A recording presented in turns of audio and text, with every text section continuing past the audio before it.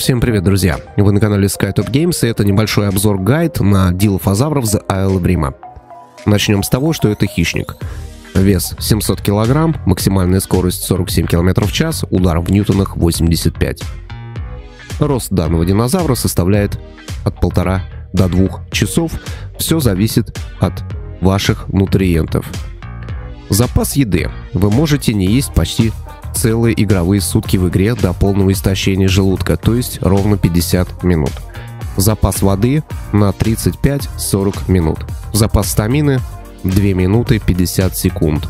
Восстановление стамины 3 минуты 30 секунд. Прыгать не может. Лимит в пати 4 особи. Давайте посмотрим его крики. Единичка.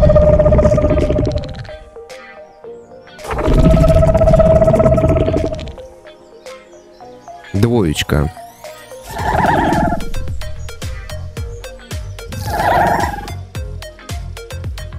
Тройка.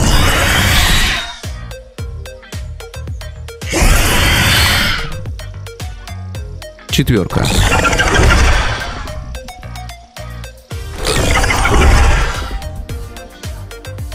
Быстро пробежимся по его предпочитаемой еде кабаны, пахицефалозавры, гипсилофодоны, троодоны, куры, лягушки, галимимусы, козлы и, конечно же, черепахи.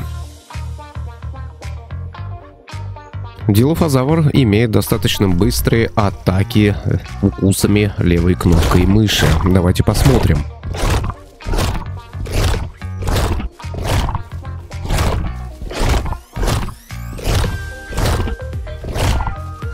Давайте посмотрим его альт-атаки.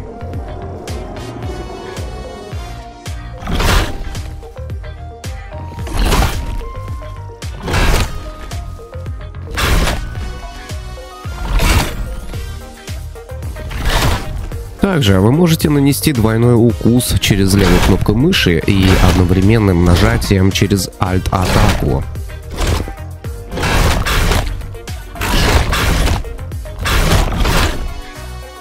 Также дилофазавр имеет свою интересную механику, механику яда. Собственно, давайте немножко расскажу о ней, попробую объяснить, а потом покажу. Итак, яд дилки. Работает по принципу как у троодона, но вместо трех стадий у дилки есть две стадии, которые активируются поэтапно. Первая стадия достигается после первого укуса. После этого у жертвы начинаются галлюцинации первого типа. Жертву окутывает средний туман. А после достижения второй стадии туман жертвы находится прямо перед носом. В галлюцинациях начинается слышаться очень страшное и непонятное эхо. В это же время клоны.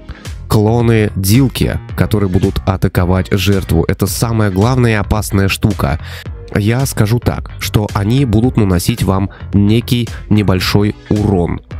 Но игнорить их не стоит и всячески отбиваться по возможности. В случае, если клон вас укусит и пропадет сам, урон нанесется и будет постепенно вас убивать. Старайтесь наносить по два укуса в голову жертве, либо по три укуса в тело укусы в хвост а, жертвы не проходят. Тем самым не будет вызывать яда и отравления у противника. Также ваш противник, если вы нанесли ему ядовитое отравление будет подсвечиваться, как в случае с троодоном. Первая стадия он будет подсвечиваться синим цветом, вторая стадия фиолетовым. Далее под лапкой у дилофазавра вы можете видеть три шкалы. Собственно, после того, как вы отравили жертву, нажимаете правую кнопку мыши, вы будете вызывать фантомы. Ну, надеюсь, что-то я объяснил, далее все в ваших руках. Скоро сами сможете все попробовать. Надеюсь, гайд понравился, остальное мы обязательно разберем вместе. Всем хорошего выживания в The Isle of Rima. Ставь палец вверх и подпишись на канал. Не будь жмотиной.